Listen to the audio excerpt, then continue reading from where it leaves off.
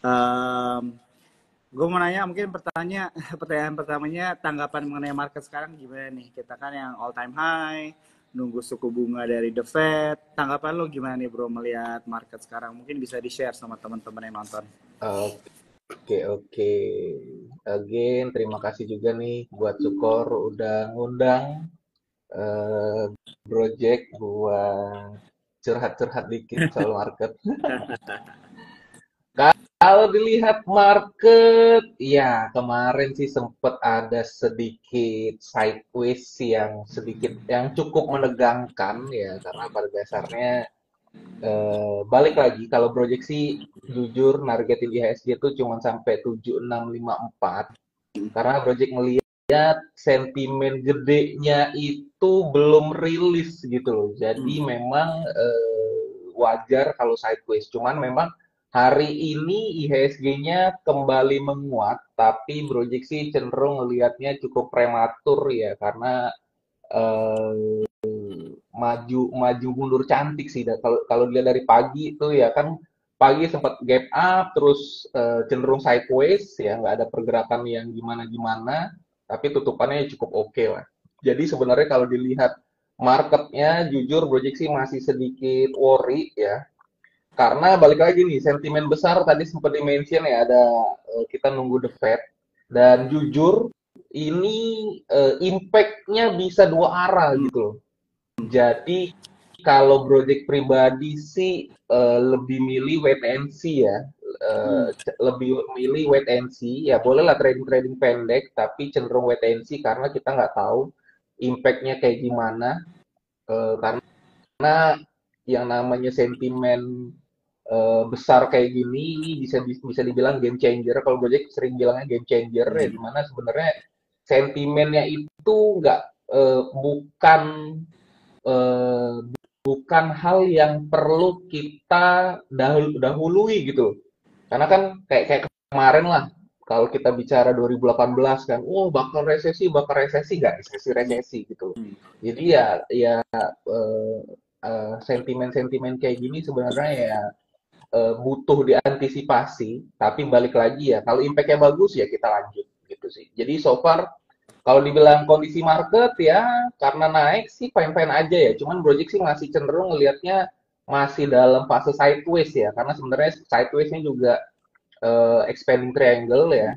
Butuh uh, big big candle dan big volume untuk ngebreakin dan tadi juga sebenarnya nggak uh, nggak keren-keren amat jadi ya sosok lah menurut Gojek.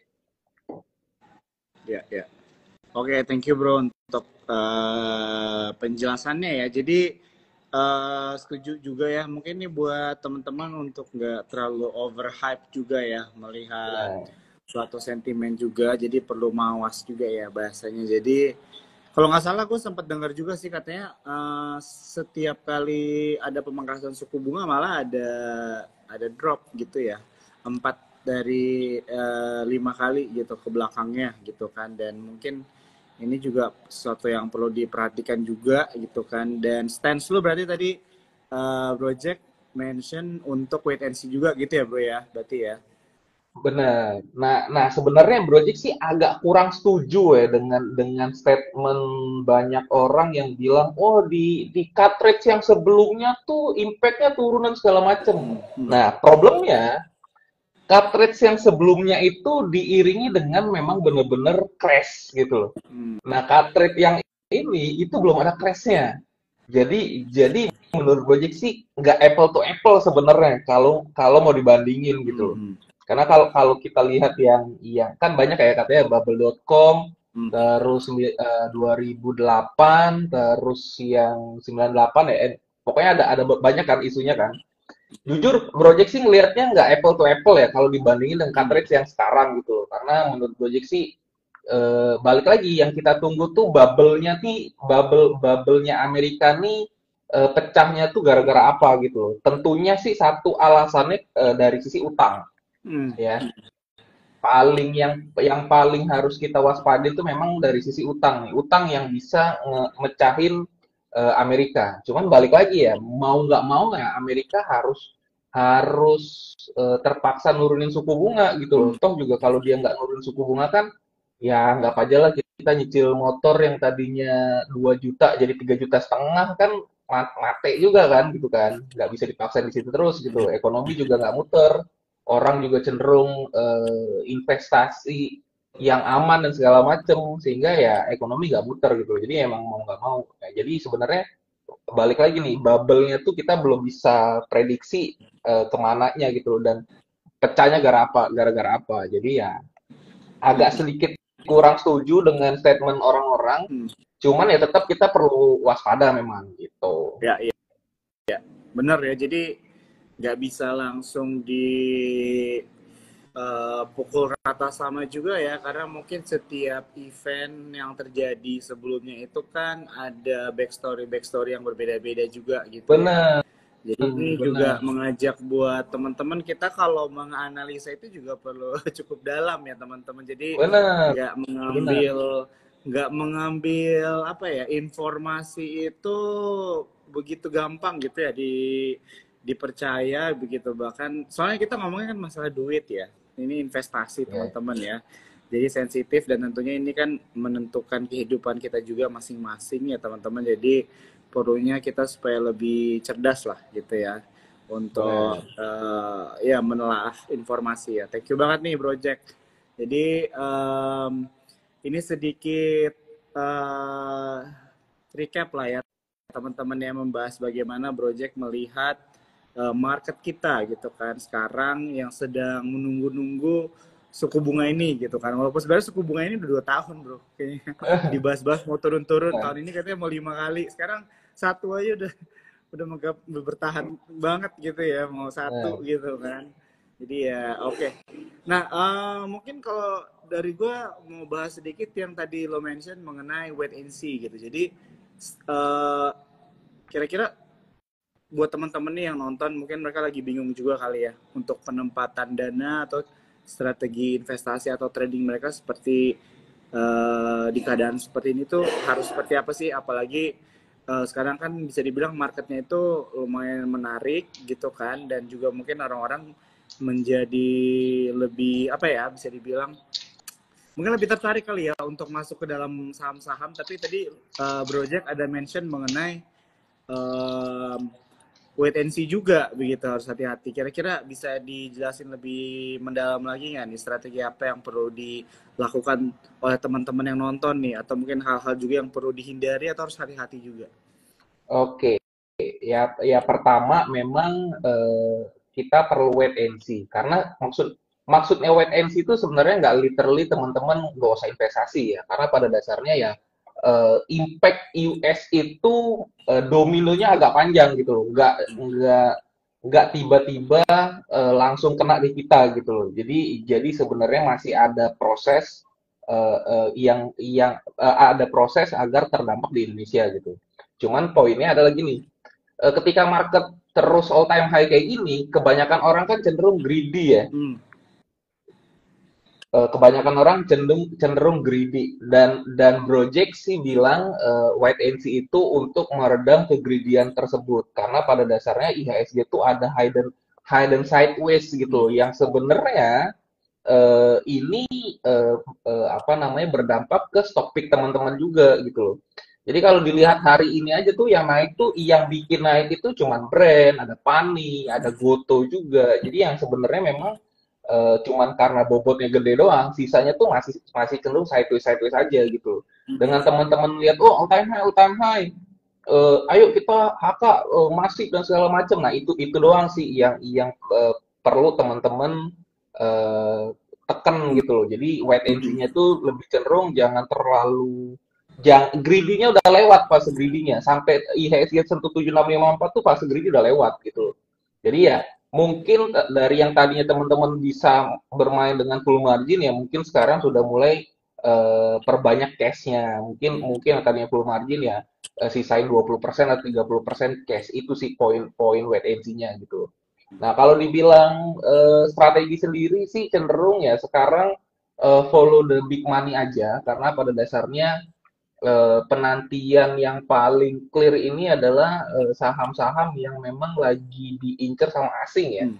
Karena pada dasarnya kan uh, dolar kita lagi oke-oke-nya, asing juga lagi masuk oke-oke-nya juga. Jadi saran project sih untuk follow the big money ya, big money-nya ya asing ya. Mungkin teman-teman bisa follow yang asing, yang asing related gitu.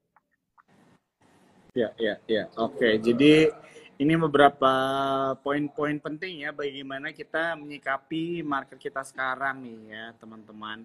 Oke, sebelum mungkin kita lanjut ke pertanyaan berikutnya, teman-teman yang baru join di sini aku ingetin ya, ini Instagram Live-nya direkam seperti biasa. Jadi kalian bisa nonton nanti kalau misalnya tadi ada ketinggalan ya mengenai penjelasan project melihat market kita itu seperti apa, kalian bisa nonton nanti di Instagramnya Sukor Sekuritas. Dan buat kalian yang mau merchandise dari Sukor ya, merchandise-nya apa, aku langsung kasih tahu aja. Ada buku ya teman-teman ya buku-buku.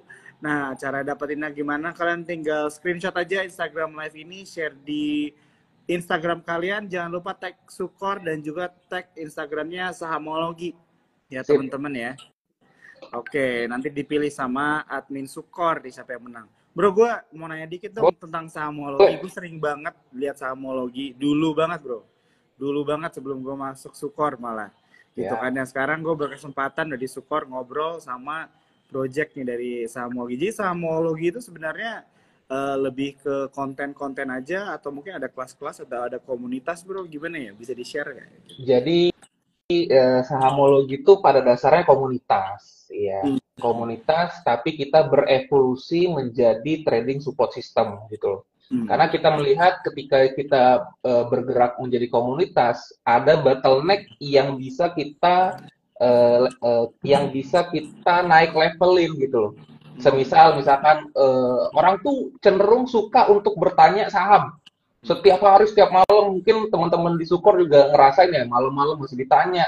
Kalau nggak di stop tuh pasti nggak nggak apa namanya nggak stop gitu ya mereka nanya gitu kan. Nah melihat kebutuhan itu, maka kita develop sebuah sistem. Muncullah namanya aplikasi sahamologi. Di sana kita uh, provide yang namanya signal, ya, hmm. provide yang namanya AI, hmm. terus juga provide yang namanya konten-konten video, video on demand kayak gitu. Nah, signalnya pun sebenarnya signal yang juga kita edukasiin. Jadi kita bikin signal tuh nggak yang uh, mutakhir-mutakhir banget, enggak, jujur kita pakai signal yang benar-benar uh, uh, metode-metode umum seperti uh, misalkan intraday trading, day trading, swing trading, trend following dan segala macam. Jadi hal-hal yang memang kita edukasiin, yang memang kita praktekin, di situlah kita kasih uh, signalnya di aplikasi kayak gitu. Jadi sim sim simpelnya ya sahamologi itu trading support system. Jadi buat teman-teman yang doyan trading, butuh support sistemnya ya bisa pakai aplikasi sahamologi gitu. Ah, I see. Oke, okay, oke, okay, oke. Okay. Jadi kira-kira ada kayak syaratnya nggak bro untuk masuk uh, komunitas samologi atau atau mungkin bisa langsung follow DM kali atau caranya gimana ya? Kalau mau ikut uh, trabar tiap hari tentunya ada. Nanti cek aja link video sahamologi ya. Itu nanti ada syarat-syarat khususnya. Tapi kalau untuk pakai aplikasi sahamologi memang uh, berbayar, ya ada subscriptionnya, tapi murah kok. Uh, on average harganya cuma nggak nyampe 100 ribu. Hmm. Bisa buat uh, teman-teman uh, screening-screening cantik gitu ya. Hmm. Sesuai dengan aplikasi teman-teman, bisa nanya-nanya juga. Ya ada POD-nya juga buat buat yang bingung dan seterusnya gitu. Oke, siap. Benar. Jadi dari support juga kan kita tagline-nya kan stronger together ya. Maksudnya emang butuh komunitas sih, Bro, gitu ya. Dan komunitas juga banyak begitu kan dan di sini teman-teman berkesempatan untuk ngobrol-ngobrol langsung nih sama Bro Jack ya dari Samologi gitu. Kalau kalian masih mau lihat-lihat dulu yang belum follow boleh langsung follow aja ya Instagramnya Samologi. Tadi gue sempat ngeliat juga ada banyak edukasi juga ya konten-kontennya yang gue lihat. Yeah. Jadi informasi news ya. Jadi itu mungkin cocok juga buat teman-teman.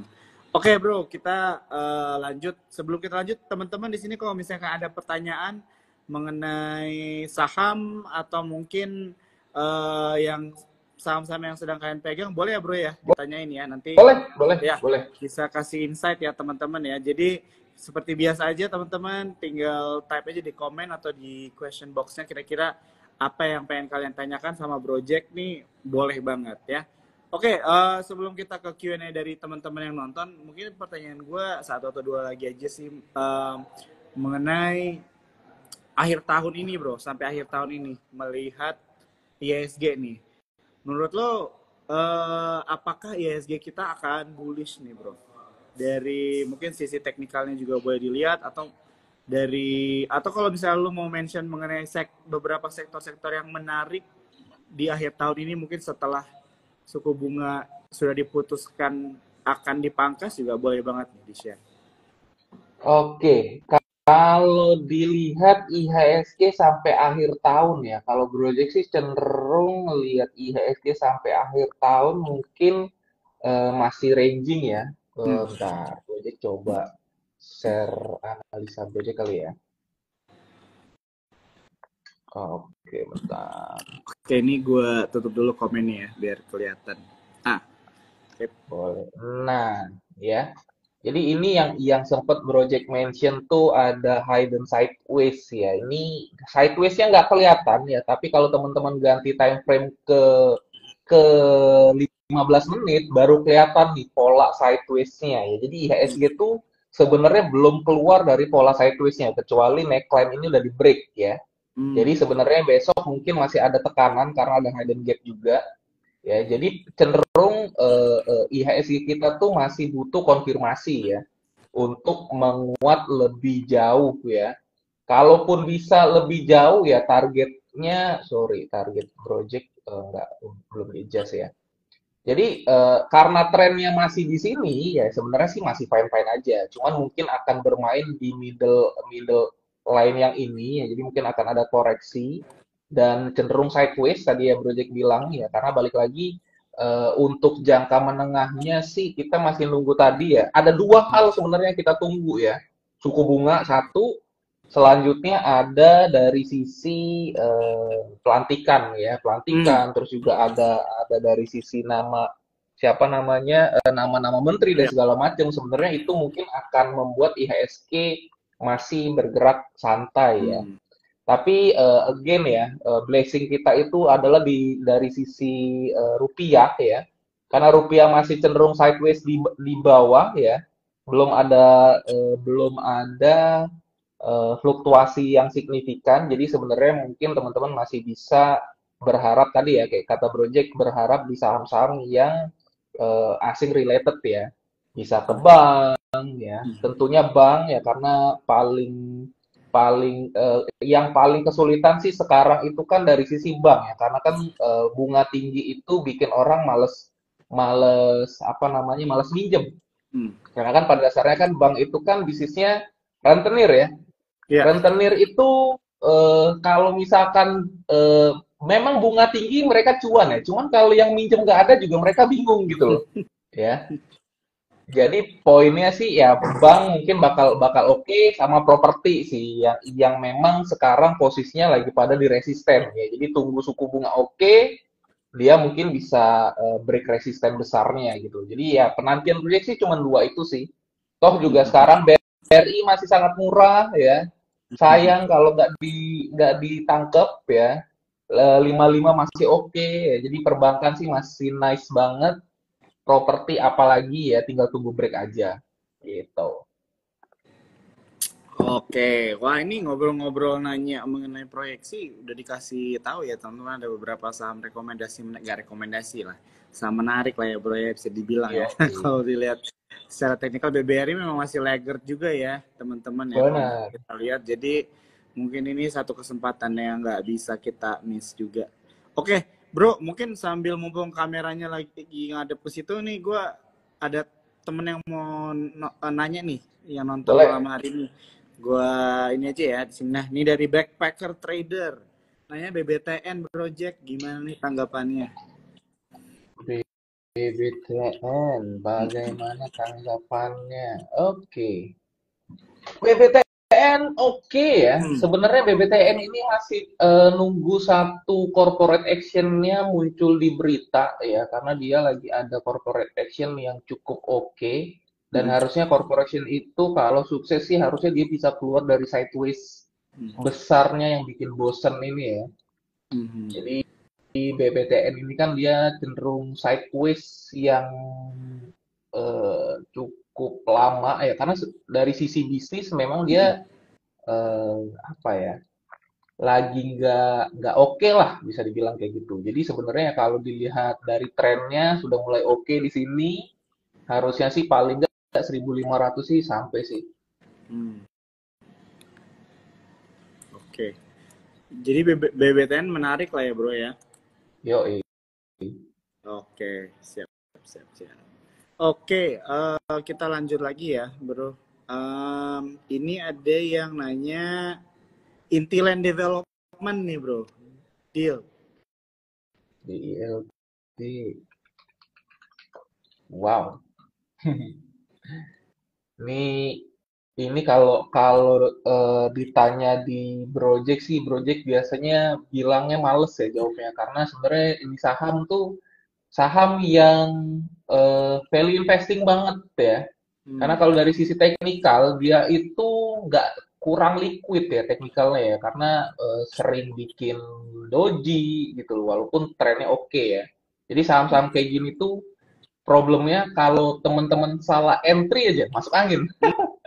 Makanya project project agak eh, cenderung nge-skip ya saham-saham kayak gini. Cuman ya anyway kalau di- dibilang bagus apa enggak ya karena polanya sudah di 38 sudah sempat sentuh 38 mundur naik lagi 38 ya harusnya sih bisa ke 238 ya.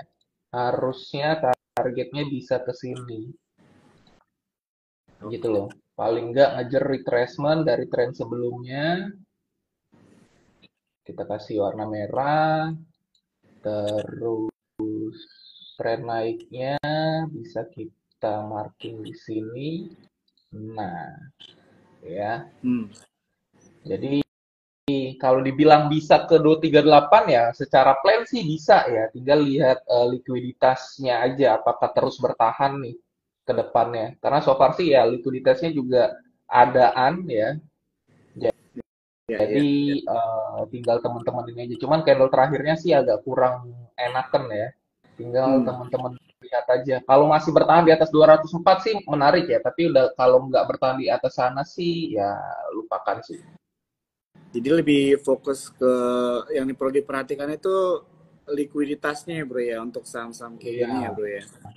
Ini kan ya, saham kalau kalau Project bilang tuh ini bukan saham bukan saham eh, yang gede ya. Ini saham lapis legit ya. Jadi sebenarnya eh, biasanya mereka itu eh, ter- terpapar setelah yang gedenya naik dulu gitu loh. hmm, Nah, dia baru tuh bisa ngekor gitu loh. Cuman ya kalau ada core protection atau value investing sih ya mungkin oke lah. oke. Ya, corporate action dan value investing ini juga bisa diperhatikan ya teman-teman Iya. ya. Oke bro, kita lanjut lagi. Ini ada pertanyaan dari Adita, Fandi. Excel gimana bro Jack? Wih, Excel gimana? Ya masih sideways aja sih Excel. Project kemarin sempet eh, sempet optimis ya. Di sini ada candle oke, volumenya oke ya. Terus juga di sini ada eh, sekilas ada kayak double bottom, cuman besoknya sih eh, balik badan ya. Kalau udah balik badan ini berarti false ya, mungkin akan sideways dulu. Kalau sideways berarti teman-teman lebih lebih bijak ya ngantrinya di area 2200 ya ketimbang harga sekarang gitu. Karena sempat ada false ya, kenaikannya juga masih landai jadi ya masih bisa dapat harga murah sih poinnya itu. Oke. Oke.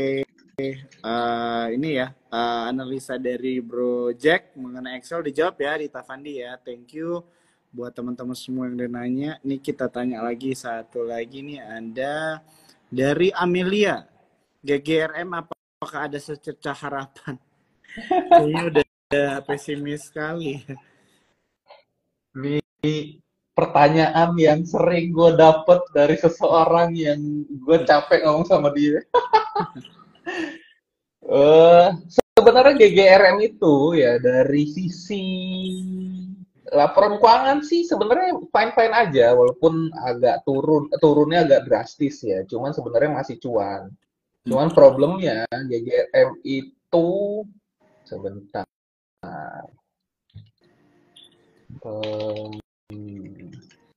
Kelihatan nggak ya dari ininya? Posisi gudang garam itu ya po, uh, gudang garam itu nih ya. Bentar, sorry sorry sorry sorry. Ya, langsung dari sini aja deh. Datanya nggak ini. Nah, jadi gudang garam itu sebenarnya ya impuls naik yang ini tuh uh, mas sebenarnya ada sedikit secerca harapan. Cuman kalau dibilang pernah nyangkut di atas ya lupakan ya. jadi jadi kalau dibilang uh, ada potensi kenaikan mungkin saja ada ya karena pada dasarnya dia sudah sangat turunnya sudah sangat dalam ya. Ini dia bikin lower low tapi nggak sedalam uh, lower low sebelumnya. Ya, jadi kalau teman-teman perhatiin di sini ya ini kan dia uh, sideways terus uh, supportnya di break dia ada gap ya lanjut turun cukup dalam uh, ada koreksi ya terus lanjut turun di sini ada support baru ya ada support baru nggak lama turun dari support dia comeback nih Nah, pola ini itu bisa aja jadi pola seperti ini. Jadi bisa aja melandai turun lagi. Tapi karena penurunannya tidak semasif sebelumnya, berarti tekanan jualnya sudah lemah. Ya, poin satu di situ. Nah, tinggal kalau teman-teman emang doyan spekulasi, kayak nggak ada saham lain, bolehlah. Ya, selama nggak nggak di atas, eh selama masih kuat di atas 15.625, boleh hold ya. Kalaupun hmm. belum punya barang ya lebih baik beli mendekati 15625. Ya, semakin dekat support semakin semakin jauh dari resiko ya. Tapi kalau misalkan e, beli sekarang sih belum oke okay, ya. Yang yang jelas karena polanya bisa aja pola besar ini berulang di pola kecil, tapi selama 15625 nggak di break sih mungkin aja ada harapan paling enggak ya paling enggak sih harusnya cuman ini belum valid ya karena belum break Nih, paling nggak ABC targetnya di sini, tapi belum valid ya karena resistennya belum belum di break nih. Paling nggak sampai 1800. Ini pun skenario-nya baru valid setelah uh, 17.000 di break ya. Gitu. Oke. Ini untuk GGRM ya. Gue jadi penasaran deh bro, uh, view lu kalau ngelihat sektor ini kayak gimana? Kan banyak yang bilang tuh uh, saham industri. Kalau untuk rokokan ini. Kalau dari lu sebenarnya secara personally aja ya, tertarik nggak sih untuk saham-saham sektor rokok? Rokok. Uh. Jujur, gua eh, pesimis ya sama saham-saham rokok ya, karena saham rokok. Jadi jadi di di Indonesia tuh sebenarnya cycle-nya memang eh, uh, sudah lewat gitu loh. Hmm. Jadi ya ya kita tahu sendiri ya namanya bisnis itu kan ada cycle-nya ya. Hmm. Jadi ada cycle dia uh, fast growing gitu kan. Ada kayak kayak startup lah, startup, terus dia fast growing, growing dan ada fase mature ya. Mature itu dalam artian marketnya tuh sudah sudah jenuh gitu loh. Dia hmm. untuk jadi lebih gede lagi sulit. Kita bicara HMSP, HMSP itu milik uh, luar negeri. Jadi kalaupun dia mau ekspansi ke luar negeri, yang kecil kemungkinan gitu loh.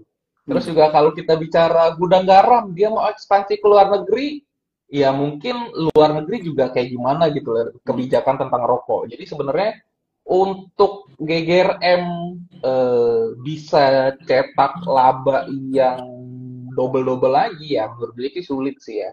Hmm. Jadi sebenarnya eh, ini perusahaan kehilangan sentimen. Kalau teman-teman perhatiin sendiri, rokok itu cukainya itu hampir 40% dari harga rokok kalau nggak salah ya cek deh di yang yang pada ngerokok cek di situ kan ada tuh harga cukai sama harga rokoknya hmm. itu tuh harga cukainya tuh 40% sendiri gitu loh itu eh, bisnis mana yang cost nggak jelasnya tuh 40% sendiri menurut gue sih itu udah nggak hmm. udah nggak relevan lagi sih untuk invest walaupun ya walaupun tingkat perokok di Indonesia ya agak gila juga sih ya cuman ya kecuali ya kecuali saham-saham ini mulai shifting bisnis nah itu something ya cuman ketika dia shifting bisnis untuk cetak laba sebesar bisnis dia sekarang sih jauh sih kemungkinan jadi ya so-so lah proyeksi bilangnya.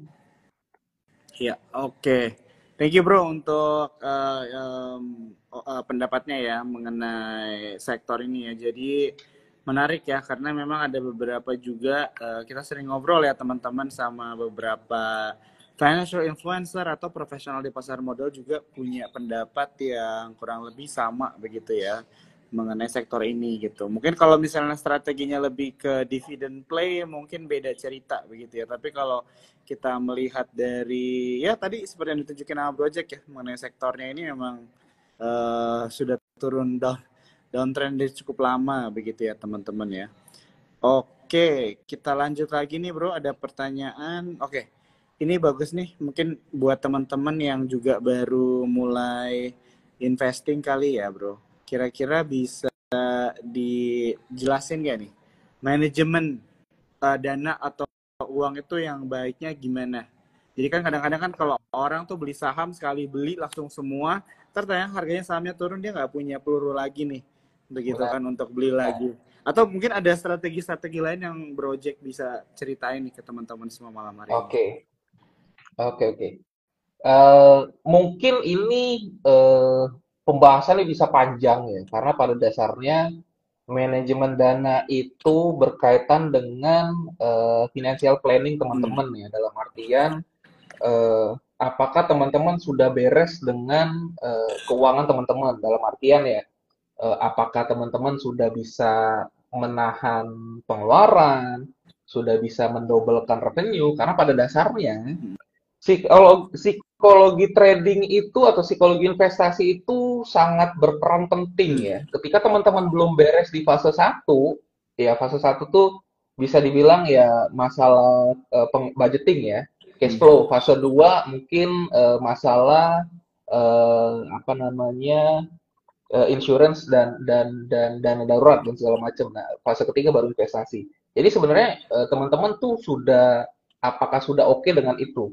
Karena Project banyak nemuin yang project mentoring juga ketika dia sudah cukup mature dalam dalam fase 1 fase 2, dia investasi itu sebenarnya nggak perlu nggak perlu strategi yang gimana gimana gitu loh karena hmm. psikologinya udah oke okay. hmm. itu itu itu poin penting ya pain point yang perlu teman-teman sadari ya jadi kalau teman-teman masih belum beres dengan urusan uh, level 1 dan level 2 nya ya mungkin fokus teman-teman di pasar modal itu dikurangin aja gitu loh. Hmm. Jadi yang tadinya pengen, oh gue pengen pengen full time trading, pengen trading tiap hari kayak project misalkan ya project pengangguran kerjanya itu ya mau gimana lagi gitu kan.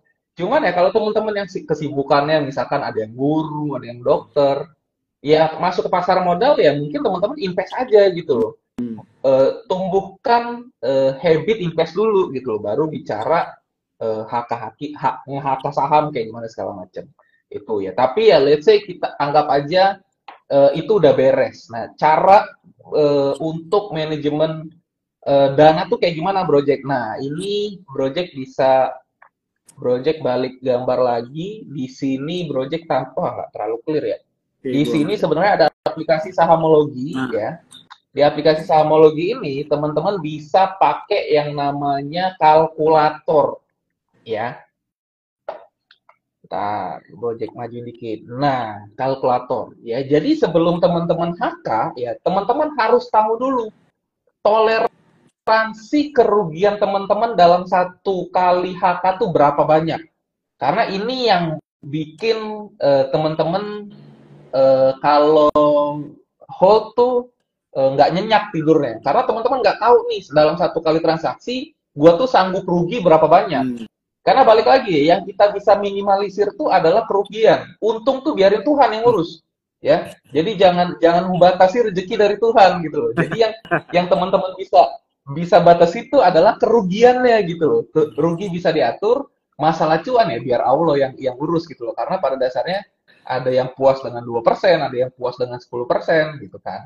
Nah, poinnya teman-teman harus tahu dulu resikonya. Misalkan ya, let's say 5 juta, klik aja 5 juta satu dua tiga satu dua tiga. Ini lima juta. Nah baru teman-teman masukin tuh harga belinya berapa? Let's say misalkan seribu seribu ya harga cut lossnya berapa? Ya. Nih kalau harga cut lossnya udah teman-teman set misalkan 900 Berarti teman-teman untuk sampai cut loss segitu, teman-teman boleh HK kurang lebih 50 juta, ya. Karena turun 10% dia 5 juta, ya. Ketika teman-teman udah set ini, mau turun ke 500 pun, ruginya tetap 5 juta gitu loh. Karena teman-teman HK-nya sesuai dengan resiko teman-teman. Nah, ini yang kadang nggak ke kebalik gitu loh. Ketika HK ketika HK tuh emang mudah gitu loh. Teman-teman nge-HK tuh tanpa psikologi ya, karena tanpa beban. Karena yang yang ada di otak teman-teman tuh ekspektasi ya. Hmm. Enteng banget ketika HK, jempret. Punya duit 200 juta, jempret, all in 500 juta pakai margin. Tanpa tanpa psikologis karena memang nggak ada beban gitu.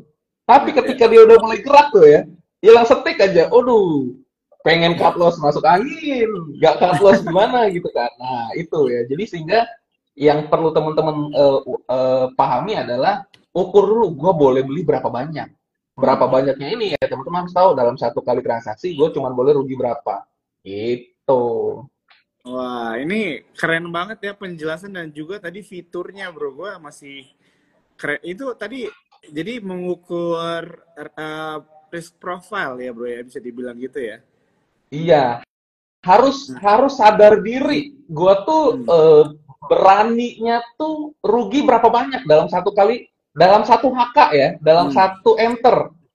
Karena balik lagi ya, teman-teman, makanya tadi Project bilang, di fase 1, fase 2 teman-teman udah beres belum? Karena ketika fase 1, fase 2 belum beres, ketika teman-teman masuk pasaran udah pasti yang muncul tuh greedy. Oh, gue pengen cepet kaya, gue pengen pengen tiba-tiba jadi kayak siapa? Uh, bos Andri Hakim gitu loh cuan pani ribuan persen dan segala macam men psikologi teman-teman tuh mungkin nggak sama sama dia gitu sehingga ya ya eh, apa namanya yang teman-teman bisa atur ya teman-teman harus tahu dulu tuh. Hmm. harus sadari dulu wah gue bisa berugi cuma sekian. Nah gitu. Gitu aja dulu. Hmm. Oke oke oke. Wah ini menarik banget teman-teman. Jadi mungkin buat kalian yang mau coba download juga bisa bro ya di Play Store atau di di Google Store ya iya. Uh, bisa di Play Store, bisa di App Store. Kita juga ada yang web versionnya, sahamologi.id. Sahamologi.co.id. sahamologi.id. Oke, oke, oke, oke, oke, oke, oke. Siap, siap, siap. Oke, uh, waktu kita tinggal empat menit lagi, bro. Jadi mungkin gue ambil satu atau dua pertanyaan lagi dari teman-teman. Uh, Oke, okay, ya, Bro Jack ya. Oke, ini ada pertanyaan tadi udah Nah, ini dia. Ada yang bertanya mengenai Ali, bro. Ali. Dari ah. Ali. Ya. Sama orang Arab ini, Ali. Oke. Ali. Ali, Ali, Ali, Ali. Ali target turunnya udah lunas ya. Kita zoom out dulu nih. Sebenarnya hmm.